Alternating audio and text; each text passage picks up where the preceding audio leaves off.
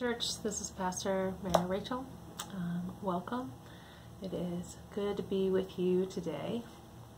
Um, today, I wanted to offer to you a small practice, uh, something to do with your body to help you to remember the love of God.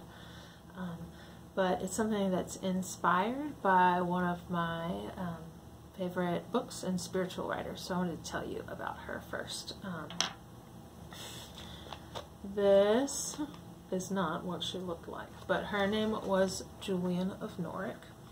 Um, she was born about 1342, so she lived through some of the great plagues in England, um, and she was a woman so faithful that she actually moved into a church. She was what was called an anchorite, um, was that she anchored herself um, to St. Julian's, a church in Norwich, England. Um, in fact, she is called Julian of Norwich because she lived at the church Julian's. We don't actually know her um, given name, the name she was given at birth. Um, she's called by the name of the church that she lived in. Um, she was a really faithful woman and she prayed to God and asked uh, for a vision of God's love. She asked to be able to see what it was like to be at the crucifixion. And she was about 30 years old um, she became very ill, um, nearly died, and um, she had a vision. And her two books actually are the first um, accounting of the vision that she had, and then uh, I think nearly 30 years later she wrote a second accounting, which sort of goes a little more into her meditations on that vision that she had of God. Um, uh, I recommend it to you if uh, you've never read it before. it's incredibly beautiful. It's really pretty brief. Most editions of it come along with a lot of notes to sort of help us understand what it would be like to live in 14th century England. Um, but most of it is pretty simple and easy to understand. I'm just going to read the briefest of um, of anecdotes, a little part of her vision, and then offer you practice based on that. And in this vision, God showed me a little thing, the size of a hazelnut, lying in the palm of my hand. And to my mind's eye, it was as round as any ball.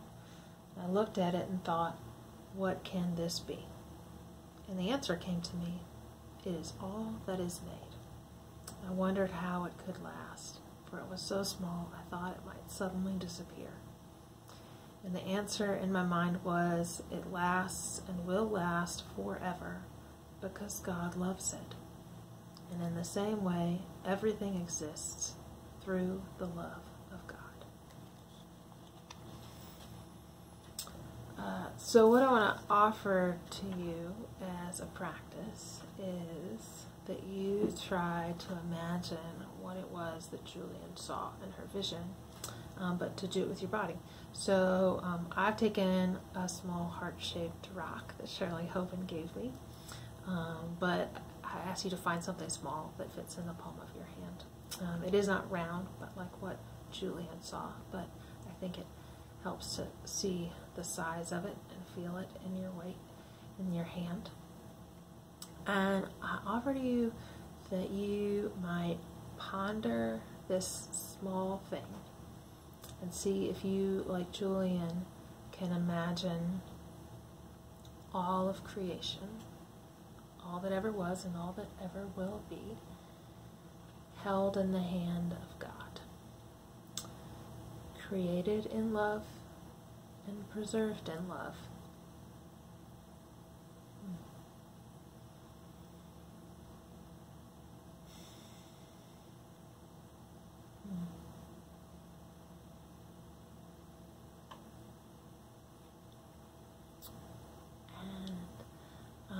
I hope uh, that you, like Julian, might receive